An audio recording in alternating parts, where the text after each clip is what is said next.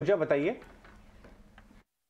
Sun TV के stock में भारी गिरावट देखने को मिली और आज के दिन ही स्टॉक में करीब 8 से 9 परसेंट की गिरावट हुई है। अगर 22 जून 2022 के स्तर से अगर देखें तो सन टीवी में अब तक की सबसे बड़ी गिरावट देखी गई है।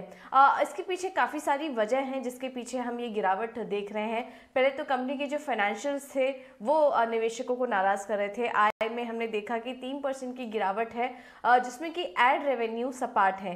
कंपनी के अहम एडवर्टाइजर्स ने भी महँगाई के में बढ़त के चलते अपने एड खर्च में कमी की जिससे कि सन टीवी को नुकसान झेलना पड़ रहा है। और इसके अलावा सब्सक्रिप्शन रेवेन्यू की भी बात करेंगे तो वहाँ पर भी दो परसेंट की गिरावट इस बार कंपनी में दर्ज हुई है। मुनाफा और कामकाजी मुनाफा सपाट है और एफ़ आई ट्वेंटी टू से ट्वेंटी फोर के बीच मुनाफे में औसत छः परसेंट की ग्रोथ का अनुमान भी बताया जा रहा है।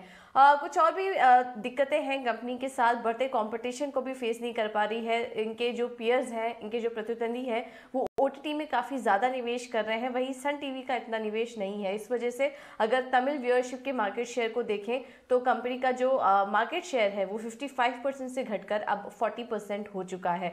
इसके अलावा कंपनी की तरफ़ से ठीक तरीके से कोई डिस्क्लोजर भी नहीं आता उनके कॉन कॉल में भी ज़्यादा कुछ अहम जानकारियाँ नहीं मिलती, इसके चलते भी निवेशक नाराज़ दिखाई दे रहे हैं। और इसी का मानना इन्हीं सब कारणों के चलते हम देख रहे हैं कि सन टीवी में भारी गिरावट है। अगर आय का ट्रेंड हम देखेंगे तो क्वार्टर टू इस बार जो आय आई है, वो के सबसे निचले स्तर पर देखने को मिल रही है। करीब 796 करोड़ इस बार कंपनी ने आय रजिस्टर की है। और कामकाजी मुनाफा में भी देखेंगे अगर हम तो क्वार्टर ऑन क्वार्टर 31 परसेंट की ग्रोथ इस बार दर्ज हुई है। तो फाइनेंशियल्स में कमज़ोरी और बढ़ते कंपटीशन के चलते हम देख रहे हैं कि स्टॉक में आज काफ़ी ज़्यादा गिरावट है। और राइट ठीक है पूजा बहुत बहुत शुक्रिया। ये आ, सारे क्यूज हमें समझाने के लिए बहुत बहुत शुक्रिया। चलिए एक गिरा क्या ये एक बीटीएसटी कैंडिडेट बन रहा है या इसको आप टच नहीं करेंगे?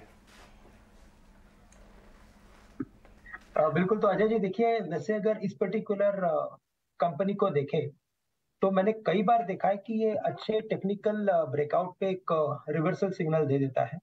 और एक डाउन होता है तो उसमें अपवर्ड एक्टिविटी आ जाती है। तो काफ़ी एक जिग्जैग सॉर्ट ऑफ़ पैटर्न बनता है इसमें या तो एक म्यूजिकल पैटर्न बनता है जिसमें कई बार ट्रेडर्स ट्रैप होते हैं और इस बार में मुझे लगता है कि काफ़ी अच्छे ब्रेकआउट के बावजूद ये स्टॉक गिरा है। अब मुझे लगता है कि बीटीएससी तो बिल्कुल नहीं करना चाहिए बिकॉज़ आज के दिन में आठ से नौ परसेंट ये स्टॉक गिरा है।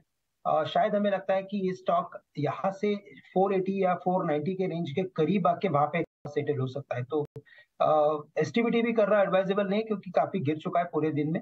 बट अगर कोई रिबाउंड अगर आता है तो बिल्कुल इसे शॉर्ट करके चले। क्लोज टू 510 515 इसमें शॉर्ट करके चले टारगेट्स रखे 480 के करीब